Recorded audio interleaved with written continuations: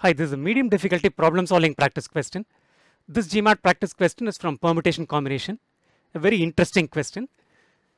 How many 5 digit positive integers comprising only the digits 1, 2, 3 and 4 each appearing at least once exist such that the number is divisible by 4. So following things have been told about these numbers, right? These numbers should be 5 digit positive integers they should comprise only the digits 1, 2, 3, 4 with a condition that each of these digits 1, 2, 3 and 4 should appear at least once. And lastly, what is said is these numbers should be divisible by 4.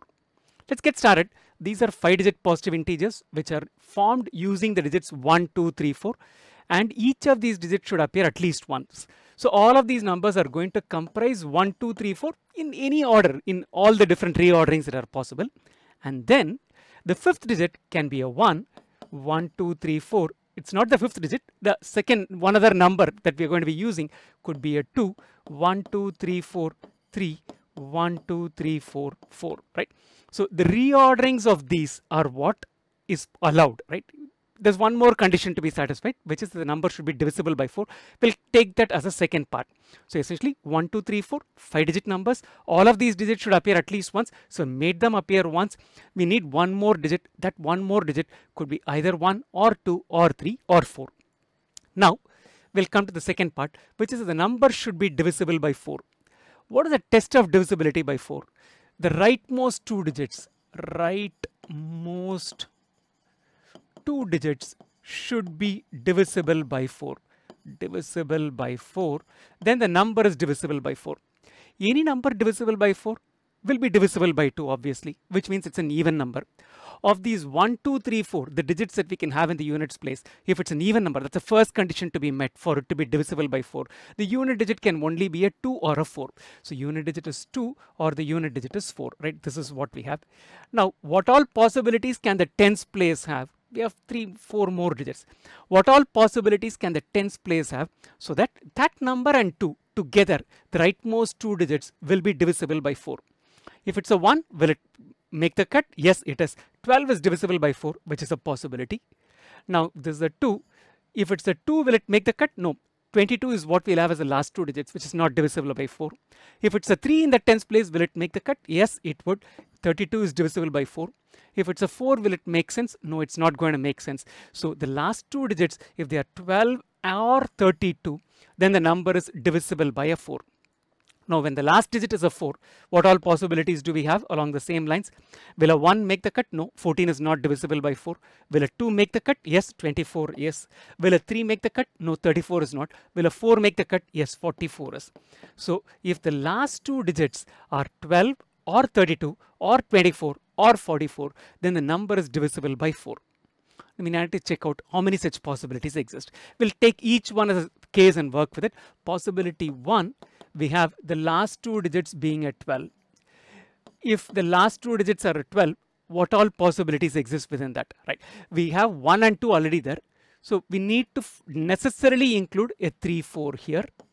In addition to including 3 and 4, what all digits can we have here? The uh, digit that repeats could be a 1, the digit that repeats could be a 2, the digit that repeats could be a 3, the digit that repeats could be a 4. So these are all the possibilities we have, right? So 3, 4, 1, 3, 4, 2, 3, 4, 3, 3, 4, 4, all of these are possible. Now, how many such outcomes are there? 3, 4, 1 can reorder in 3 factorial ways because this is a 12. All of these are going to end in a 12 right? So 3, 4, 1 can reorder in 3 factorial ways, which is a 6. 3, 4, 2 can reorder in 3 factorial ways. All of these are distinct digits. This reordering alone we are looking at. So that's a 6. Now we have a 3, 4, 3.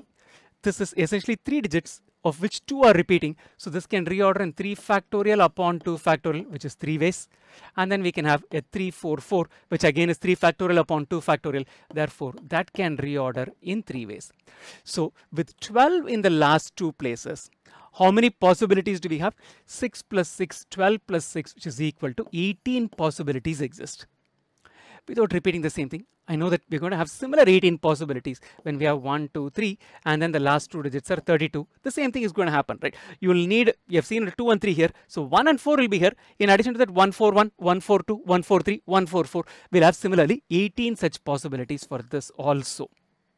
Now what else did we have? We had a 24 and a 44. 24 again is going to behave the same way. Without batting an eyelid, we can say that because the process is pretty much the same.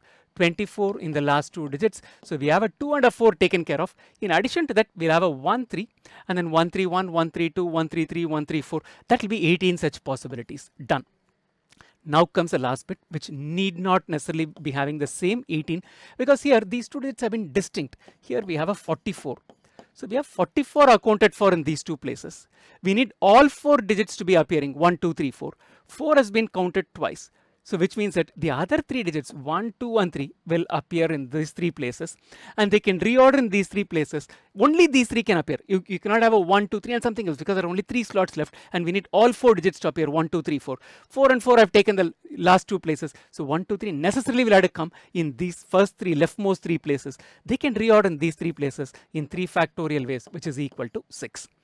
So possibility 1, 2 and 3, 18 each, 18 plus 18 plus 18 when the rightmost two digits have been 12, 32 or 24.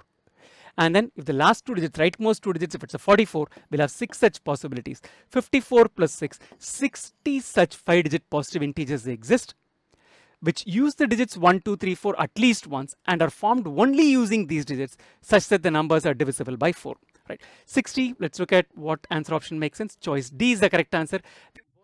Here is a bonus question along with this question. I've maintained everything exactly the same till this point, right? How many five digit positive integers comprising only the digits 1, 2, 3 and 4, each appearing at least 1 exists such that the number is divisible by 6. The original question that we solved, the number was divisible by 4. In this case, it's divisible by 6. These are the five answer options that we have for this. Solve this question and pick the correct answer and post your answers to the comment section of this video. Best wishes.